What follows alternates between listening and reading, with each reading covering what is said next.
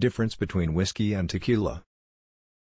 Surely at some point you have shared a drink or a glass of liquor with friends or family, although it is true that beer is a very common drink, there are people who like a slightly stronger liquor, many people consume the traditional whiskey, but Mexican tequila also has a striking profile for many people, so if you are perhaps relatively new to the subject, in this video we will explain what differences whiskey and tequila have, so come, join us.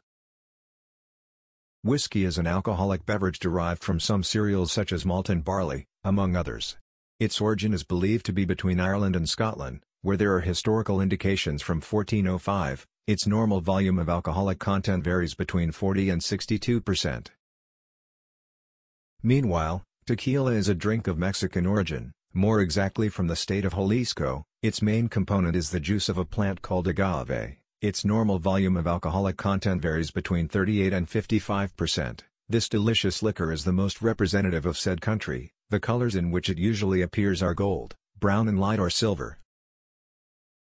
The main differences between these two fine liquors are not only in their composition, the whiskey being more of cereals or grains and the tequila coming from agave or maguey, they also differ in their distillation, that is, their manufacturing process. Also if we go to the tasting part, Tequila may contain a little less concentrated alcohol, but at the same time it may be richer in flavor. Likewise, it is a drink that turns out to be a bit more Latin, since it is normally accompanied with chili pepper, pepper, salt, among others, while whiskey does not usually have many variations, only that some drink it with ice and others pure, in sometimes they add ginger.